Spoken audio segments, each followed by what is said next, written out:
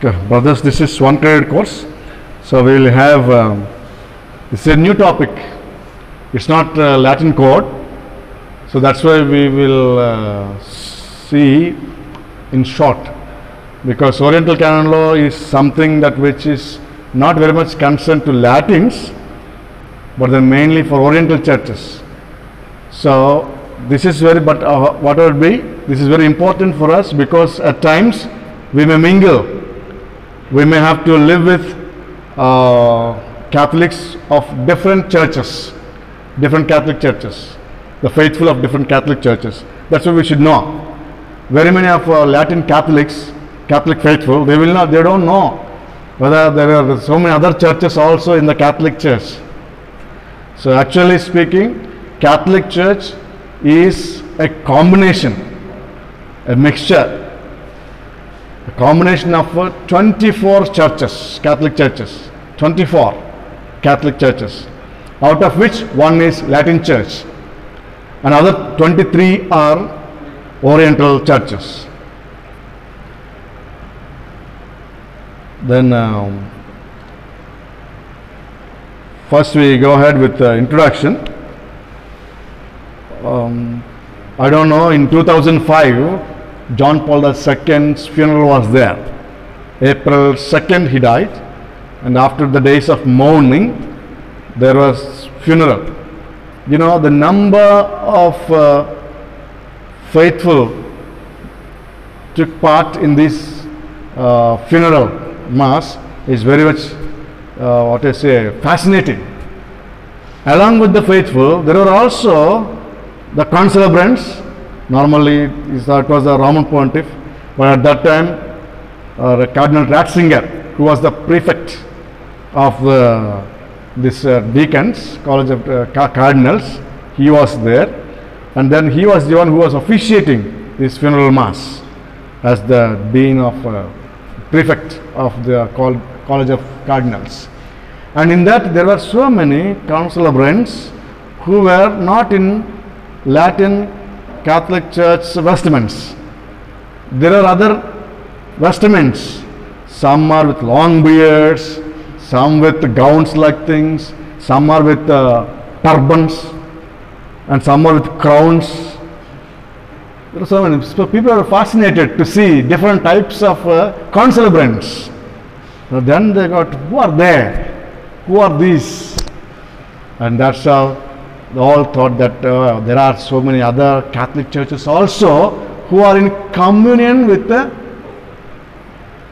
Roman Pontiff, communion with Rome.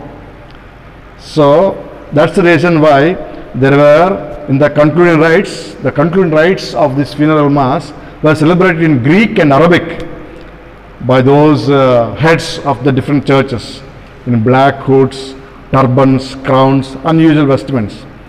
These were the heads of the various Eastern Catholic churches who are in full communion with the Latin Church. Actually, we say the term Roman Catholic is, uh, isn't it, uh, it's not quite right to say as it was a derogatory label. Derogatory label assigned to us by the Anglican Protestants, Roman Catholics. That means the church is centered around Roman, Rome, so they gave us that name, like nickname, like label, Roman Catholic. But actually, the term Catholic Church is the right, right term to be used, not Roman Catholic like that. But nowadays, to distinguish from other Catholic Church to this Catholic Church, they use this RCM, Roman Catholic Mission, whether they use. Otherwise, nowadays, best thing is to use Latin Church, is the best term to use for Roman Catholic. There is other churches have got their own names.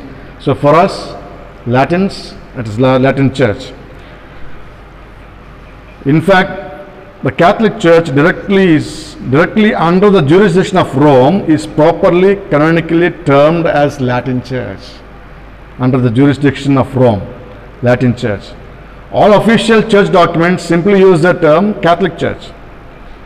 And contrary to popular belief, most of the day to day work performed by the Holy Father is not in his role as Pope and pastor of the Universal Church, but in his position in the Latin Church as the Bishop of Rome. Bishop of Rome and the Patriarch of the West. So, Holy Father is does all his office works in the name of Bishop of Rome or as the Patriarch of the West. So, the titles that are there for Roman Pontiff is uh, Bishop of Rome and Patriarch of the West. Because all other, some other heads of the patriarchal churches are called patriarchs. So he is also one of the head of the church, one of the churches. So along with other churches, Latin Church also is just like any other Catholic church, headed by Roman Pontiff, who is called as the Patriarch of the West. So suppose you go to Eastern churches, they we have to address Pope as a Patriarch of the West, West, or Bishop of Rome, Bishop of Rome. Why do we say, why do we give that uh, primacy to Bishop of Rome? He is a successor of Peter, who is the first among the first among the among the equals. First among the equals. All are equal. But the first one among the equals. That's why all others are supposed to give primacy to him. So those who don't give the primacy are not in communion with the Latin Church, or the, they, they don't accept the primacy of uh, uh, Roman Pontiff. If they don't accept, they are not in communion with the Catholic Church. If you know, in uh, Latin code, what is the Latin code called? I asked some questions, okay? Latin code called? Latin code. Latin code of canon law. I hope you studied general norms, all the things. Now, what is it called? CIC, no?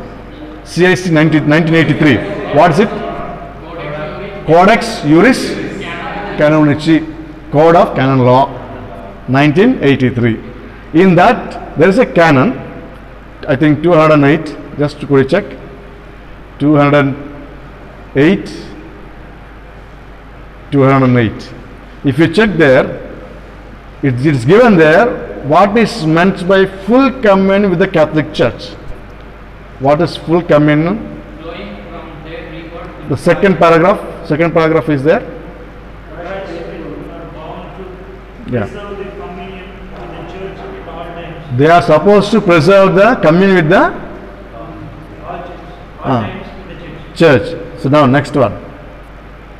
they are yeah. carry out with great diligence their Yeah. responsibilities Okay. towards both the universal church Yeah. and the particular church to which they belong. Yeah. Okay. Or cannot, do not mind them. Yeah. Could you give me that text?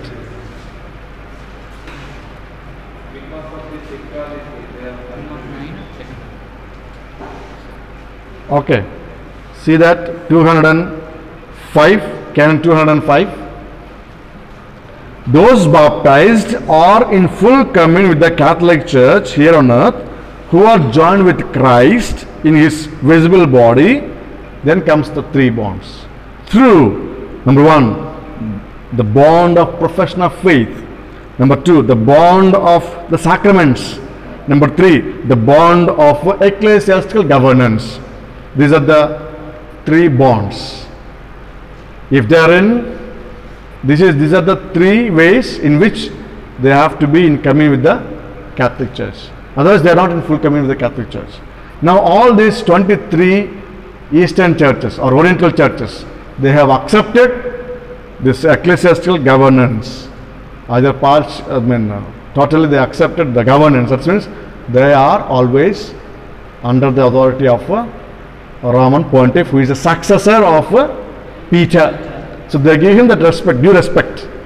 So that's the reason why they are in communion with the Latin Church. Okay, they accept. Suppose tomorrow when I ask you, what are the signs of the full communion with the Catholic Church? If I ask you, you have to say a faithful Christian faithful has to be in the through these three bonds in communion with the Catholic Church. That's number one. Through the bonds of bonds of faith, profession of faith, sacraments, ecclesiastical governance. Ecclesiastical governance comes there, Roman pontiff, our bishops, priests, all this. Okay? Now,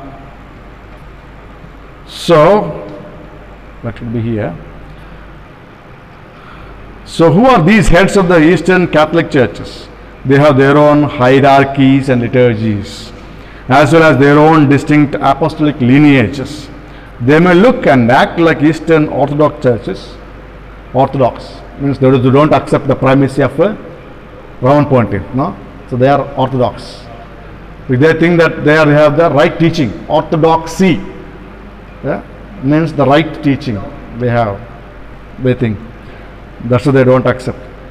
They may look and act like Eastern Orthodox churches, but unlike these Orthodox churches, they recognize these 23 churches, they recognize the Bishop of Rome as the head of the visible church on earth. Very, very important. They recognize the Bishop of Rome as the head of the visible church on earth. And at times they have to suffer for the sake of this, this unity, for the cause of this unity. Because those groups were excluded from these Orthodox churches because they accepted the primacy of a Bishop of Rome. Yeah. Now let me ask you one question. Questions are there always. Okay. What are the four marks of the Catholic Church? Holy, Catholic, Apostolic, One, holy, Catholic, and apostolic. Okay. Don't forget these four marks. Now we'll have the short brief introduction about this church, Catholic Church I kept, but at the same time also in case any plural if you ask if you want to use churches also can have. So, according to the constitution on the church, that's Lumen Gentium, the Catholic Church is understood to be a corporate body of churches. Corporate body of churches, united with the Bishop of Rome, who serves as the guardian of unity. Unity is very, very important. Unity. That they be one. Who prayed for that unity? That they be one. Father, Ah, Jesus, where did he pray for that unity? In which, uh, whose version of the gospel? Whose version of the gospel? John. In John chapter 17. You'll have prayer for unity. Jesus praying for the unity. That all those who believe in you, that they be one. Means all believe in same one Lord, isn't it? So that's why that they may always be together in unity. So he is the guardian. Uh, Bishop of Rome is the guardian of this unity. The other Catholic churches are not merely Catholics with paper permission to use different liturgies. They were also founded by the apostles. They were also founded by apostles. Who founded this uh, See of Rome? Who are, who are those apostles? Peter and Paul. That's right, isn't it? Likewise, so they be- began Latin tradition, no? Latin church began with them, Peter and Paul, and that's how it became West. And these other apostles, they spread in different parts of the world. Some came to India, some came to these uh, Gulf countries, and that's how towards those eastern side, they also began a kind of uh, uh, what is uh, churches. They founded churches. These other apostles. So that's how Pope as in the place of Peter and all other apostles are represented by other bishops. So now what we have is these other churches also were founded by apostles and are particular autonomous churches. That means they don't depend on the Latin church, on Rome. No, they have their own existence, their own legal, uh, what you say, uh, legal law, I mean, particular laws, they have their own laws. And these individual Catholic, any individual Catholic may freely attend and receive sacraments in any of them because after all Catholic is Catholic.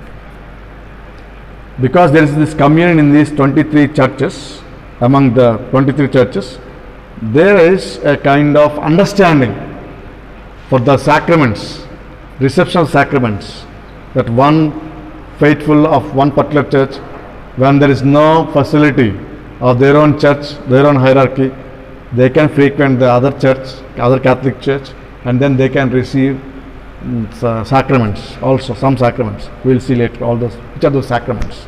We'll see them. Because we believe in one holy Catholic and Apostolic Church, some might object there is only one church, so how can we speak of many churches? So it is help it is helpful always to consider what the analogy analogy used by church fathers, just as Trinity, Father, Son, Holy Spirit. Though there are three different persons, yet they are one God. So that's why even if there are different Catholic churches, yet there can be one one Catholic church. There can be one Catholic church. Okay, it is possible. So that's how it can be justified in the Catholic Church. Now, when Christ founded, when Christ founded his church, he commissioned the apostles to go out into the world to preach and baptize. Most Catholics are familiar with the founding of the See of Rome by Peter. The primacy of that church was sealed with the blood of Peter and Paul. And the succession of the bishops continues to present day. What many do not know is that the other apostles themselves founded churches and their own successions of bishops continue as well. Other churches also have these bishops and their successors. Here we have a short uh, picture. See Jesus Christ on the top we see. Then the apostles, he took the apostles, and then how Peter, Paul, Mark, Matthew, Thaddeus, how the different traditions came. See, different families. Yeah, the main one you see, Alexandria, Rome, Antioch, Armenia, Byzantine. What is this Byzantine church? Who who? Yeah, all these are Eastern churches only, except Latin church, isn't it? Byzantine has was previously called. Uh, it was the original name actually Byzantine, but when Constantinople, Constantine, when he yeah, when he he had that influence, he became the emperor. Then this was the main see. So from there he started ruling, so that it will be between east and west. So he started ruling from there. So because he was ruling from there, he changed the name to Constantinople because after his name, Constantine. So then same name, be it Byzantine or Constantinople, both are one and the same city. So Constantinopolitan or Byzantium churches means all these churches will come under that. So here we, this is how the foundation took place. Jerusalem is in the center. Do you follow? How the different uh, families, these are called families, traditions or rites, we call rites. Yes. Of course, these things will be there with you. Afterwards, you can read, no problem. At present, as presently defined, there are 24 Catholic churches, Latin Church plus 23 Catholic churches that can be grouped into eight different rites. So, what is a rite? What is a rite? Very, very important, important uh, definition, description of a rite is here. A rite is a liturgical, theological, spiritual, and disciplinary patrimony. Means uh, patrimony means heritage. Heritage. Pater. Pater means uh, father. Coming down, no? From father to son. So from one generation to another generation, it is handed on. That's what. What is handed on? Liturgy, theology, spirituality, and discipline. Discipline means law. All these things are handed on. So that's what called is patrimony. That means uh, liturgical patrimony, theological patrimony, spiritual patrimony, and disciplinary patrimony of a distinct people manifest in a church, in a particular church. What they practice, what they have, all those things are together is called a rite.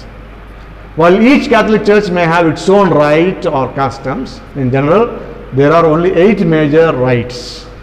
So, history, language, misunderstandings, nationalism, and basic human weakness all have resulted in current communion of 24 churches. Why there are different churches means the reasons are this. Yeah. Human beings, churches made up of also human beings, the divine and human. Both elements are there in the church. Because it's made up of human beings, naturally there are who is greater, who is there's no question of lower. Nobody likes to sub, uh, subject themselves to other. So that's one of the reasons misunderstandings. Nationalism means our country, our culture, our heritage. We have to keep up. So that's why every church was trying to keep up their own liturgy. It's good one way. So these are the reasons why we have 23 churches. That's why we celebrate now. We celebrate the differences. Differences are not for divisions. Differences are not for division. Differences are to be celebrated. Recognizing every individual church, we have to celebrate in the Catholic Church.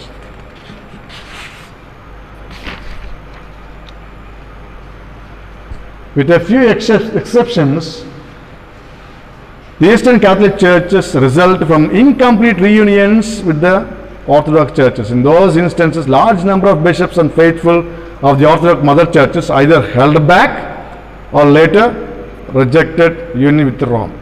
Today, many Orthodox are fearful of losing their traditions in a world dominated by the Latin Church. Uh, Latin Church is everywhere, so they are afraid of losing their own patrimony, patrimony, no, what they inherited. So that's what fear of losing. Making matters worse, some of the Eastern Catholic Church have adopted adopted Latin customs because they came in coming with uh, Rome. Some of them started adopting Latin customs. So that's how Latinization comes in. Latinization. You might have studied in church history, right? Latinization. Huh? Okay. And uh, this is the tragic since the traditions of these churches are themselves apostolic and help preserve Catholicity of the church with uh, their own unique development of the gospel message. For example, is given here, unlike a good Latin parish, in a traditional Eastern Catholic parish, you won't find musical instruments, statues, rosaries, or stations of the cross. Indeed, the priest may well have a wife and children also, and the church might be without pews or kneelers. In some circumstances, even the Bible might have a larger canon. Larger canon means larger books, so many books, number of books can include third and fourth Maccabees also. That's why we say unity does not mean uniformity. So we do find some of these things in the Eastern Catholic churches also. Yet we respect the tradition. We respect, respect their tradition. You see here, you will find the map. In the map, you will find see main centers, no?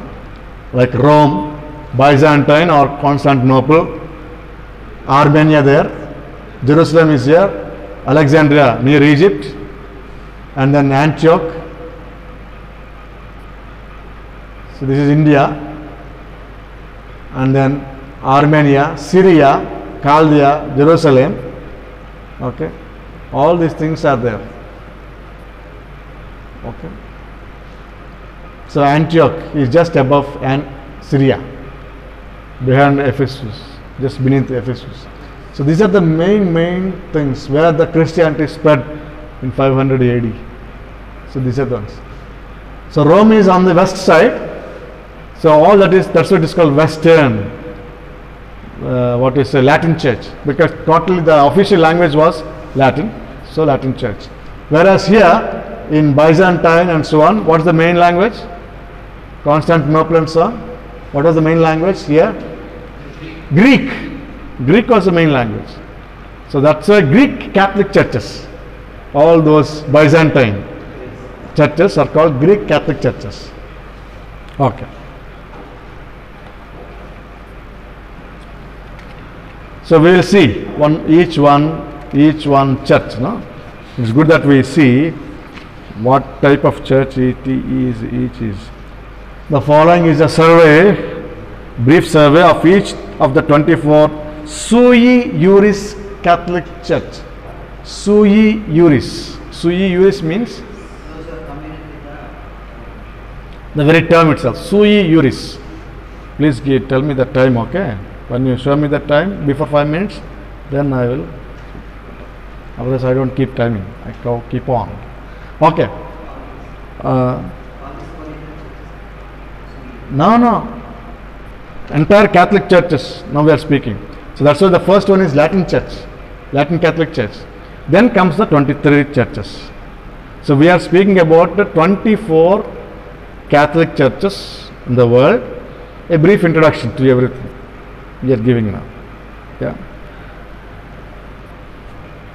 Those who are in commune with Rome. Parishes can be found throughout the United States and Canada also. They are grouped by rite and include brief descriptions along with the estimate of their current members membership. Some of these churches are headed by metropolitans, some are major archbishops, some are patriarchs, some are just just exarchs. So they are all independent. Now we will see first one is this one. See the membership. Rite is Latin rite. How many are there in the world?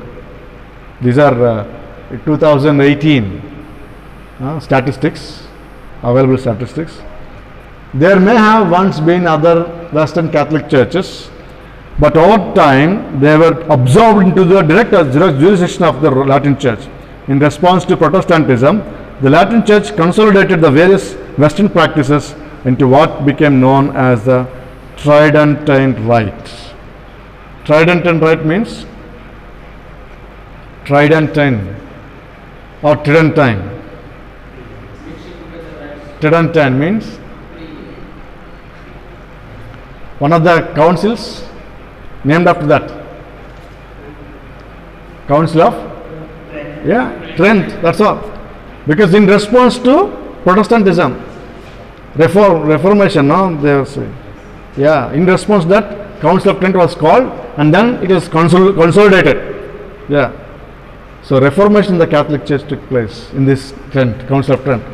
And that was the one which uh, said about the syllabus, seminaries should be there, there should be given long training and so on. All these things came in the Council of Trent. So, this is what. Yes. Some variations still exist in the Latin Church. The Mozarabic, yeah, the Mozarabic rite continues in Toledo, Spain, and the Ambrosian rite survives around Milan, even in Switzerland, and all other things. You know, when I, when once I went for Christmas ministry to Milan, one of the parishes. After the gospel proclamation or before the gospel proclamation or after Lord have mercy, they start exchanging peace. Exchanging peace. Think what happened? Then of afterwards the parish priest said that this is Ambrosian rite. Ambrosian rite. So long readings, not short readings as we have. Long readings are there.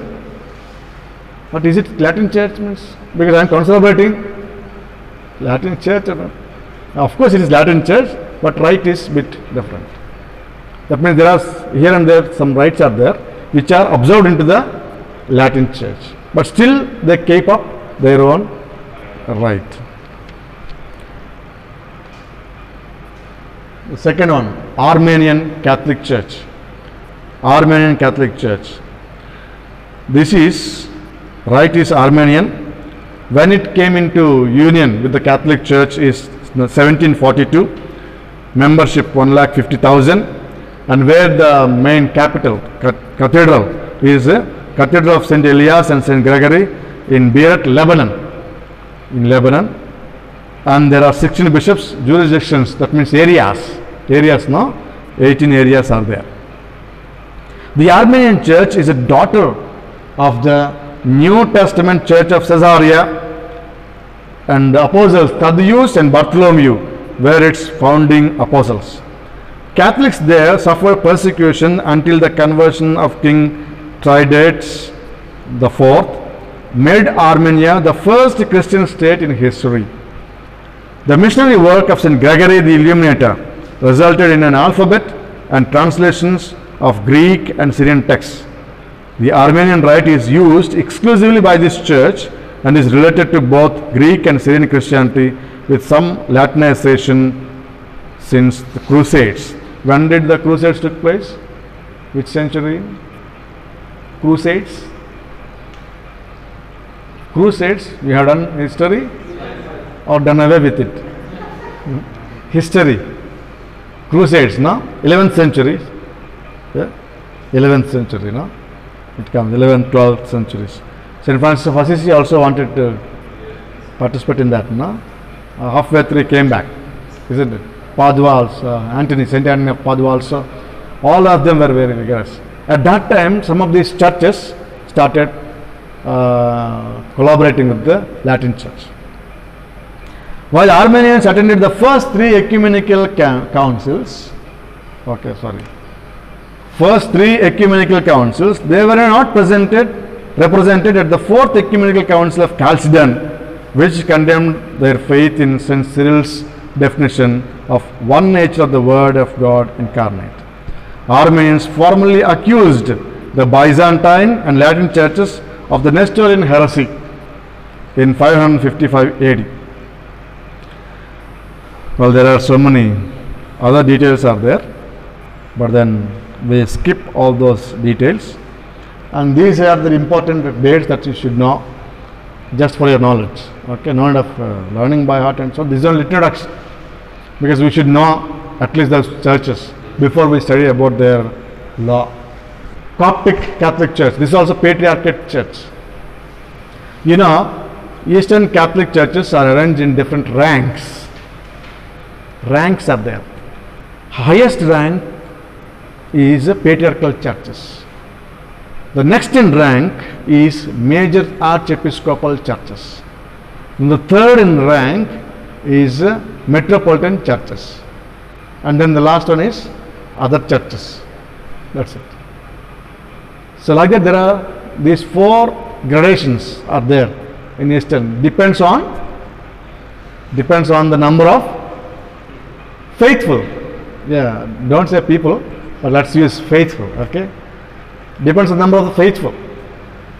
The ranks are. It can be elevated to metropolitan, and a metropolitan church can be elevated to the second rank, major episcopal church. And if they have more numbers and then spread all over means, they can be also elevated to patriarchal churches. So now, Catholic, Ca- Coptic Catholic Church, Alexandrian Rite. This has got Alexandrian Rite. And year of reunion with the Catholic Church, Latin Church is 1741. And where is it? It's in Cairo, Egypt. Anyway, since uh, this is already being recorded, you can play again and again later on also. So don't worry about uh, noting down immediately and so on. Just listen. So that uh, afterwards, at the end of these 24, 23 churches, I have given you a kind of table. Table according to the rite and families. now I have given that. So you can be relaxed. The Egyptian church was founded by the apostle Mark, the gospel writer, and his disciple Peter, martyred around 63 AD. His see was the first church to develop a strong centralized hierarchy. Hierarchy. And the succession of from Mark continues to this day, into this day. Succession from Mark. The term Coptic is Arabic, derived from the Greek word for Egyptian. So Egyptian or Coptic, one and the same. Okay, other things are there. Alexander, the Alexandrian patriarch is the only other patriarch to have the title of Pope. Pope. Even that patriarchals is called Pope in their church. Only he has that title. No other patriarchal church. And until the Council of Chalcedon, the See of Mark was the second in primacy after Rome. So after Rome, the second one was given always is uh, this Coptic church is given importance.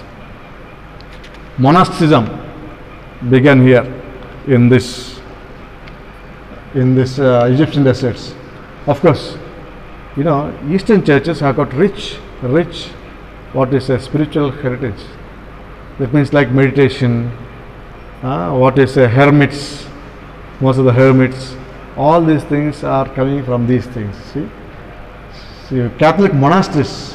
While there are no Coptic Catholic monasteries to rival those of the Coptic Orthodox, there are religious orders modeled on Western communities involved in educational, medical, charitable activities even today. Number four, Eritrean. This is the recent one. They declared this uh, church as metropolitan recently. That's what it is uh, in 2015. It is. Its main, this one is the Asmara, Eritrea, Africa, no? Alexandrian Rite. The next one is Ethiopian Catholic Church. This is also metropolitan. Previous one also metropolitan. This also metropolitan. Please remember that. Then when this one came into, sometimes they say some partially came in in 1846, but permanently in uh, 1961. And the main see is in uh, Ethiopia, Addis Ababa. Addis Ababa is a main place. You know, in, when I was in Rome, there was a priest who was from that Addis Ababa, the diocese of Addis Ababa in Ethiopia. She belongs to that church. So, whenever we had discussions at the table, and he used to accuse Latins, Latins uh, coming and they tried their best to, what you say, uh, well, Latinize. But uh, good that uh, Holy See gave the independence for us so that we could uh, practice our own rites. Otherwise, missionaries coming now, Latin missionaries, instead of respecting the local some traditions, they have tried. So, like that is going on. Yeah. So, we move on. This here, the church, there is unique in retaining circumcision also is there in the church. Circumcision, dietary laws. Dietary means food habits, no? What to eat, what not to eat. Those things which are sacred, which are not holy, all those things are there in that. And both Saturday and Sunday considered as Sabbath in today. Some of these practices from Jewish, they are still kept up.